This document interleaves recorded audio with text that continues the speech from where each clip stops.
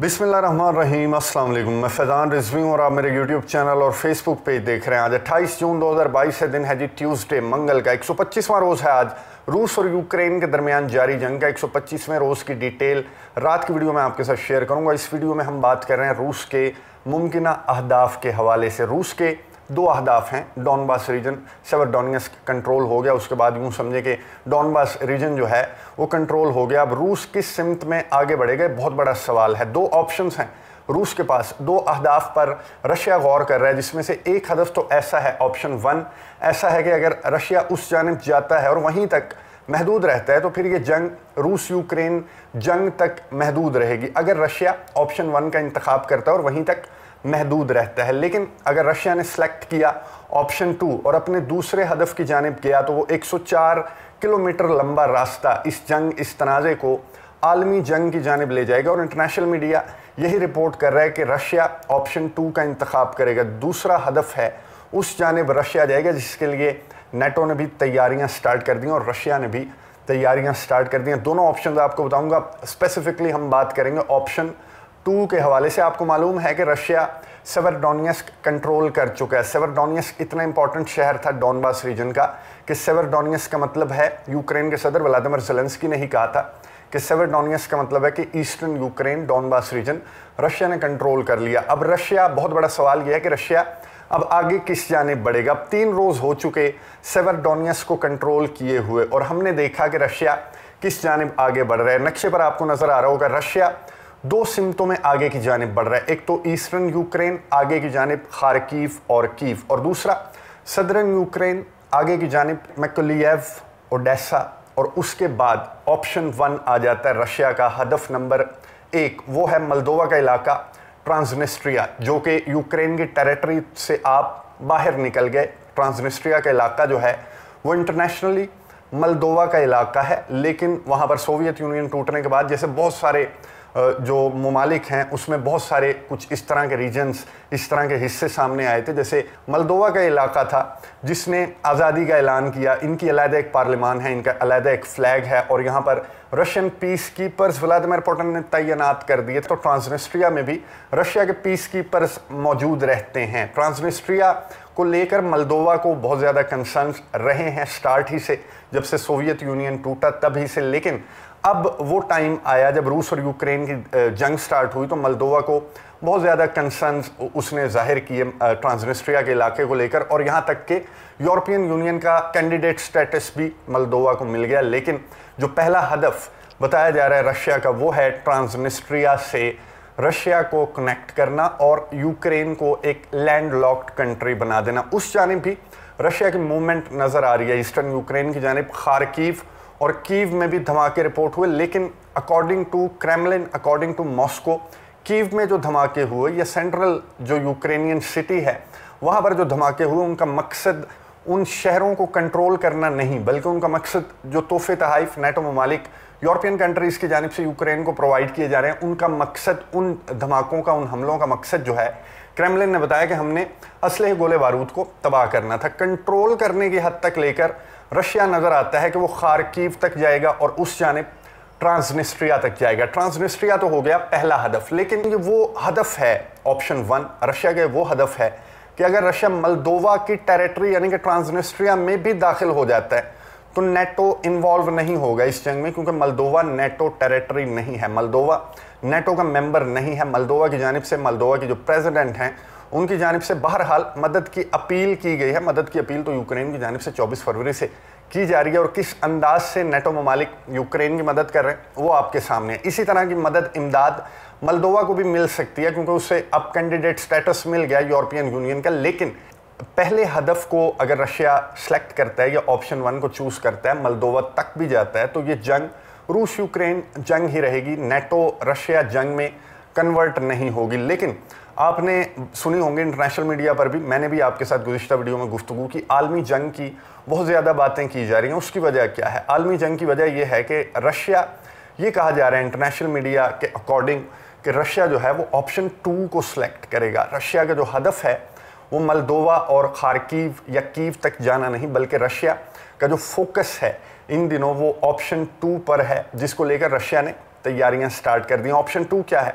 मैं आपको बता दूँ, लिथुएनिया, जिसने पाबंदी आयद की थी। मैं इस पर एक सेपरेट वीडियो बना चुका हूँ, मैं डिटेल में नहीं जाऊँगा। हम स्पेसिफिकली उस इलाके की बात करेंगे, जो कि इस वक्त बहुत बड़ा ख़तरा बना हुआ है और कहा जा रहा है कि ये दुनिया का सबसे ज़्यादा ख़तरनाक इलाका है इस ज़मीन पर, इस अर्थ पर।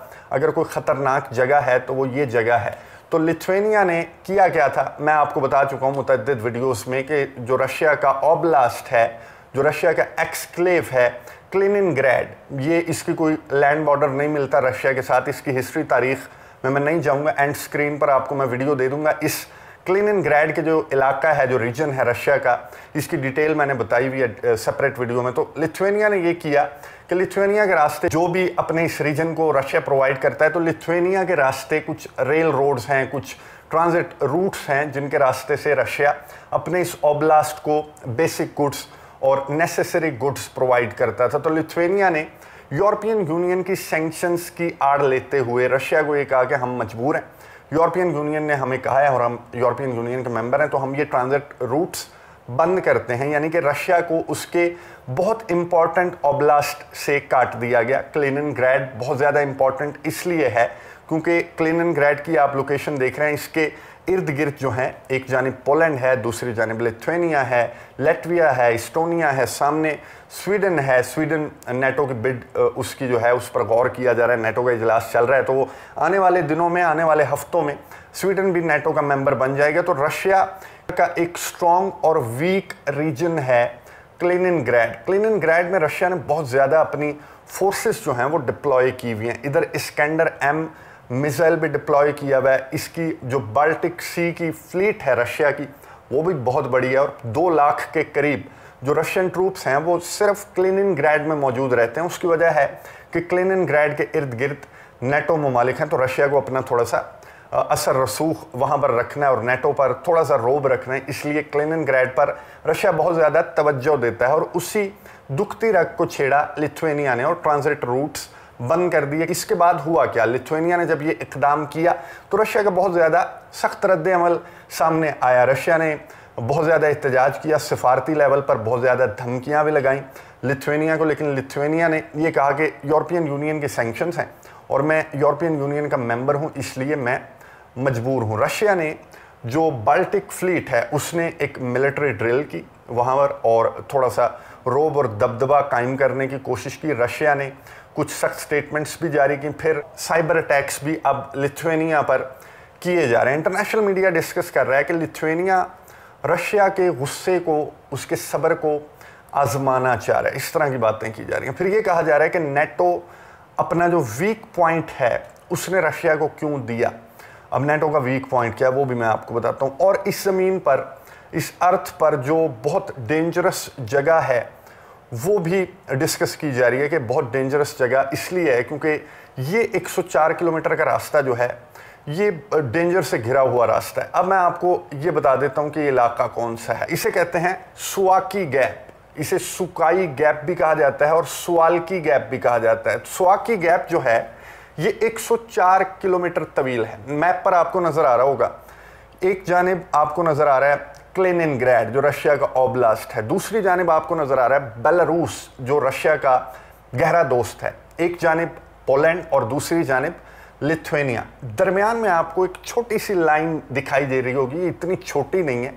इसे जूम करके मैं आपको दिखाता हूँ। ये जो लाइन है, ये 104 किलोमीटर लंबा रास्ता है। इसे कहा जाता है सुवाकी गैप या सुवाकी कॉरिडोर आपने ये देखा होगा, जो वखान कॉरिडोर है। इसी तरह का ये जो सुवाकी गैप है ये इसी तरह का एक गैप है जो कि लिथुएनिया और पोलैंड के दरमियान कायम किया गया था 1922 में। लिथुएनिया और पोलैंड के दरमियान भी बहुत सारी जंगें हुई, फिर इनके दरमियान एक माहिदा तय पाया था जिसे कहते हैं स्वाकी एग्रीमेंट या फिर सुकाई एग्रीमेंट। इस एग्रीमेंट के तहत ये एक गैप रखा गया था दोनों ममालिक के दरमियान कि ये दोनों ममालिक को डिवाइड करेगा। और उसके बाद फिर लिथुएनिया जो है वो सोवियत यूनियन का मेंबर बन गया था। फिर सोवियत यूनियन टूटने के बाद लिथुएनिया ने एक अलहदा मुल्क होने का ऐलान कर दिया। फिर नेटो ज्वाइन कर ली। यूरोपियन यूनियन का लिथुएनिया जो है, वो मेंबर बन गया। मैं आपको इस गैप का बता दूँ, ये जो स्वाकी गैप है, इसके अंदर अब आप ये सोच रहे होंगे कि ये कोई होगा जंगलों जैसा एरिया होगा और यहाँ पर जो है पहाड़ होंगे। ऐसा नहीं है। यहाँ पर दो मिलियन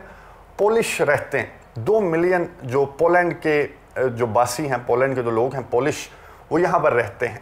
और लिथुएनिया के पच्चीस हज़ार लोग यहाँ पर बसते हैं इस गैप के अंदर। ये बहुत बड़ा इलाका है, बहुत बड़ा एरिया है। यहाँ पर एक पूरी दुनिया बसती है, लेकिन बहुत डेंजर के दरमियान। डेंजर क्यों मैं आपको बताऊँगा। इधर पैंसठ हज़ार के करीब यूक्रेनी भी रहते हैं इस गैप के अंदर, और ग्यारह हज़ार के लगभग जो हैं, रशियन भी यहाँ पर रहते हैं स्वाकी गैप के अंदर। स्वाकी गैप मैं आपको बता दूँ कि इसकी लोकेशन इसे डेंजर क्यों कहा जाता है डेंजर जोन क्यों कहा जाता है, इतना डेंजरस इलाका क्यों है? इसके एक जानब लिथुनिया है, नेटो मुल्क, यूरोपियन यूनियन का मेंबर। दूसरी जानब पोलैंड है, नेटो मुल्क, यूरोपियन यूनियन का मेंबर। एक जानब इसके क्लिन ग्रैड है, जिससे रशिया खुद को जोड़ना चाहता है। दूसरी जानब इसके चौथी जानब यानी कि बेलारूस है, जो कि रशिया का दोस्त है। माजी में अगर हम जाएँ 2016-17 की बात है तो बेलारूस और रशिया ऐसी ड्रिल्स, ऐसी एक्सरसाइजेस करते रहे, जिसमें उन्होंने प्रैक्टिस की कि हम इस गैप को जो ये स्वाकी गैप है, इसे हम किस तरह से कंट्रोल कर सकते हैं? रशिया और बेलारूस ने बहुत ज़ोर भी लगाया था और पोलैंड और लिथुएनिया नेटो को, यूरोपियन यूनियन को मनाने की कोशिश की थी कि हमें क्लिनिनग्रैड और बेलारूस को जोड़ दो, ताकि बेलारूस फिर रशिया से जुड़ा हुआ है ऑलरेडी तो फिर हमारा जो ट्रांजिट रूट है, हमारे जो रास्ते हैं क्लिनिनग्रैड से जो हमारा मिलना है, वो ठीक हो जाएगा, बेहतर हो जाएगा। लेकिन ये ममालिक नहीं माने और इन्होंने रशिया को एक रूट दे दिया, एक ट्रांजिट रूट दे दिया लिथुएनिया के रास्ते में। और लिथुएनिया से गुजर कर रशिया अपने इस ओब्लास्ट तक पहुँचता है। लेकिन लिथुएनिया और पोलैंड के दरमियान ये वाहिद रास्ता है जो नेटो ममालिक को लिथुएनिया और पोलैंड और लिथुएनिया, लेटविया, इस्टोनिया जो बाल्टिक स्टेट्स हैं, उन्हें यूरोपियन यूनियन से जोड़ता है। ये वाहिद रास्ता है। इसके अलावा इन तीन बाल्टिक स्टेट्स के पास कोई रास्ता नहीं है जो इन्हें यूरोपियन यूनियन या फिर नेटो कंट्रीज़ के साथ लिंक करता हो, ये इतना ज़्यादा इंपॉर्टेंट गैप है कि अगर ये गैप दरमियान में ना हो तो फिर बाल्टिक स्टेट्स जो हैं, वो तनहा हो जाएँगी, क्योंकि बाल्टिक स्टेट्स का जो ज़मीनी रास्ता है ट्रांजिट रूट है, वो कट जाएगा नेटो के साथ यूरोपियन यूनियन के साथ। अगर बाल्टिक स्टेट्स को बेलारूस और रशिया काटने में कामयाब हो जाते हैं इस गैप को कवर करके तो फिर बाल्टिक स्टेट्स बहुत ज़्यादा वीक हो जाएँगी। लेकिन एक रियलिटी एक फैक्ट ये भी है कि ये नेटो टेरिटरी है। ये जो इलाका है, जो स्वाकी गैप का इलाका है, ये बेसिकली पोलैंड है। पोलैंड के, स्वाकी गैप के साथ अगर आप पोलैंड का इलाका देखें तो वो भी स्वाकी है, स्वाकी सिटी है। स्वालकी कह लें आप इसे, या सुकाई कह लें। वो पोलैंड का इलाका भी है, और उसके नाम पर ये जो स्वाकी गैप है, इसका नाम रखा गया था। तो ये बेसिकली पोलैंड है, और यहाँ पर ज़्यादा पोलिश ही बसते हैं। दो मिलियन के करीब जो हैं वो पोलिश बसते हैं। लेकिन अब ये स्वाकी गैप बहुत ज़्यादा खबरों में डिस्कस हो रहा है। इंटरनेशनल मीडिया पर बहुत ज़्यादा डिस्कस हो रहा है। तबसरे तजिए किए जा रहे हैं कि अगर 104 किलोमीटर के इस रास्ते पर रशिया या फिर बेलारूस निकल पड़ते हैं तो फिर ये जंग, एक आलमी जंग में तब्दील हो जाएगी। तैयारियाँ कैसे नज़र आ रही हैं? तैयारियाँ मैं आपको बता दूँ, एक तो बाल्टिक सी के अंदर रशिया ने ड्रिल्स की एक्सरसाइजेस की, फिर बेलारूस को रशिया ने इसकेंडर एम मिसाइल प्रोवाइड कर दिया बेलारूस को क्यों? फिर बेलारूस अब यूक्रेन और रशिया के इस तनाज़े में डायरेक्ट इन्वॉल्व नज़र आया। बेलारूस की जानब से बेलारूस के अंदर से यूक्रेन में कुछ शेलिंग की गई, कुछ फायरिंग की गई, कुछ रेड्स की गई, जिसको यूक्रेन ने कहा कि बेलारूस जो है वो डायरेक्ट रशिया के साथ इस जंग में इन्वॉल्व हो चुका है। तो रशिया अब बेलारूस को इसके अंडर एम भी प्रोवाइड कर रहा है। तो ये जो खबरें हैं, ये सामने आ रही हैं कि बेलारूस और रशिया जिस तरह की मिलिट्री ड्रिल्स किया करते थे, जिस तरह की प्रैक्टिस किया करते थे, स्वाकी गैप को कंट्रोल करने की कैप्चर करने की, अब प्रैक्टिकली रशिया और बेलारूस जो हैं, वो स्वाकी गैप को कंट्रोल करने की कोशिश करेंगे, जिसको लिए नेटो के चीफ स्टोल्टनबर्ग ने नेटो का आपको मालूम है कि समिट चल रहा है।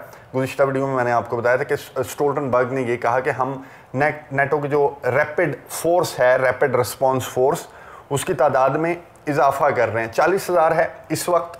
अब उसे बढ़ाकर तीन लाख कर दिया गया है। और वो जो रैपिड फोर्स है, वो ये बताया जा रहा है कि लिथुनिया और पोलैंड में डिप्लॉय की जाएगी, क्योंकि सबसे ज़्यादा ख़तरा जो है, एक तो इस वजह से भी कि अगर रशिया नेटो टेरिटरी के अंदर दाखिल होता है, यूक्रेन से आगे बढ़ता है तो फिर पहले जो ममालिक हैं, नेटो कंट्रीज़ हैं वो पोलैंड होंगे या फिर लिथुएनिया, लेटविया, इस्टोनिया होंगे, ये ममालिक होंगे। फिनलैंड, जो कि अभी नेटो का मेंबर नहीं बना, और फिनलैंड को लेकर रशिया के इतने ज़्यादा कंसर्न्स भी नहीं है। फिनलैंड इतना ज़्यादा रशिया के अगेंस्ट फिनलैंड ने यहाँ तक कह दिया कि नेटो को हम अपनी मिलिट्री बेसिस यहाँ पर यहाँ पर जो लीथल वेपन है, वो डिप्लॉय करने की इजाज़त नहीं देंगे। यानी कि हम एक थ्रेट साबित नहीं होना चाहते रशिया के लिए। तो फिनलैंड को फ़िलहाल कोई ख़तरा नहीं है रशिया से। रशिया से अगर ख़तरा है पहला ऑप्शन तो यह है कि मलदोवा को ख़तरा है। यूक्रेन से आगे निकल कर मैं बात कर रहा हूँ। दूसरा जो मुल्क है, वो मलदोवा है। मलदोवा का इलाका ट्रांसनिस्ट्रिया है और जो सबसे इंपॉर्टेंट है,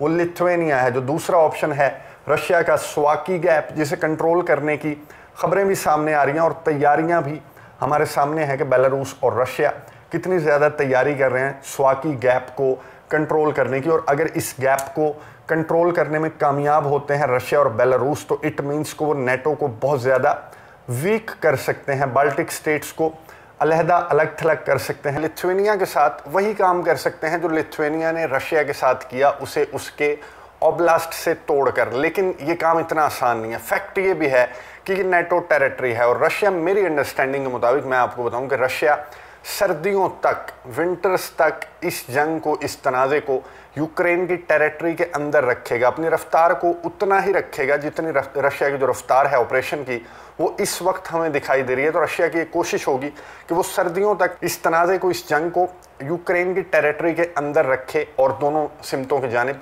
बढ़ता रहे और देखे सिचुएशन रशिया देखेगा सर्दियों तक, क्योंकि यूक्रेन ने भी कहा, यूक्रेन के सदर व्लादिमिर जेलेंस्की ने भी कहा जी सेवन समिट से वर्चुअल खिताब करते हुए कि मेरी मेरी ये कोशिश है मैंने डेडलाइन दी है आपको कि आप सर्दियों से कबल ये जंग, ये तनाज़ा जो है, वो ख़त्म करें। तो नेटो ममालिक की, यूरोपियन कंट्रीज़ की, यूक्रेन की ये कोशिश है कि सर्दियों से पहले ये तनाज़ा जो है किसी नतीजे पर पहुँचे। और रशिया की ये कोशिश होगी कि सर्दियों तक रशिया मज़ीद वीक करे यूरोपियन कंट्रीज़ को, नेटो ममालिक को, जिनकी इकॉनमी जिनकी एनर्जी क्राइसिस अभी से साफ़ वाज तौर पर दिखाई दे रहे हैं तो रशिया को मालूम है कि ये ममालिक सर्दियों में बिल्कुल भी सर्वाइव नहीं कर सकेंगे रशियन गैस के बगैर, क्योंकि इन्हें कोई ऑल्टरनेट भी नहीं मिल रहा। तो रशिया इस जंग को यूक्रेन की टेरिटरी में रखेगा सर्दियों तक। और सर्दियों के बाद सिचुएशन देखते हुए जो स्वाकी गैप का इलाका है, या फिर अपनी अगली स्ट्रेटजी अपने अगले हदफ का तयन रशिया, मेरी अंडरस्टैंडिंग के मुताबिक सर्दियों के बाद करेगा, यानी कि आने वाले दो तीन महीनों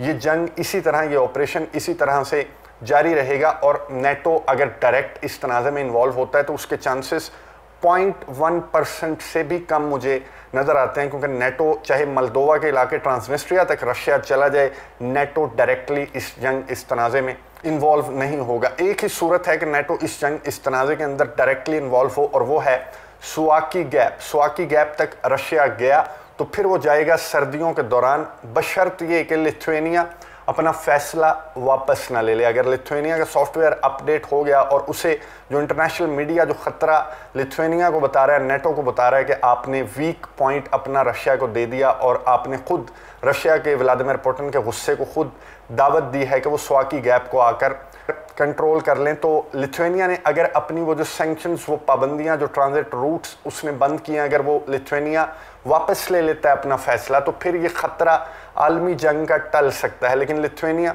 वो पाबंदियाँ वापस लेता हुआ दिखाई नहीं दे रहा और रशिया को अपने ओब्लास्ट के साथ कनेक्ट करने में उधर जो बेसिक गुड्स हैं, वो तक पहुँचाने में बहुत ज़्यादा मुश्किल का सामना है। तो रशिया का यही हदफ जो ऑप्शन टू है, वो बहुत ज़्यादा डिस्कस किया जा रहा है, जिसको लेकर रशिया ने अंडर एम मिसाइल प्रोवाइड कर दिए बेलारूस को, और वहाँ पर अपनी जो ड्रिल्स हैं बाल्टिक सी के अंदर, वो भी रशिया आए रोज़ कंडक्ट कर रहा है, और ये मैसेज देने की कोशिश कर रहा है नेटो ममालिक को कि रशिया का अगला हदफ क्या हो सकता है। नज़र रखेंगे आपको अपडेट्स देता रहूँगा। कमेंट्स बॉक्स में अपनी राय का इजहार ज़रूर कीजिएगा कि आपको क्या लगता है कि रशिया आने वाले दिनों में कौन से ऑप्शन को सिलेक्ट करेगा? 125वें रोज़ की डिटेल्स आज रात को आपके साथ शेयर करूँगा। अगली वीडियो तक के लिए इजाज़त दीजिए। अल्लाह हाफिज़।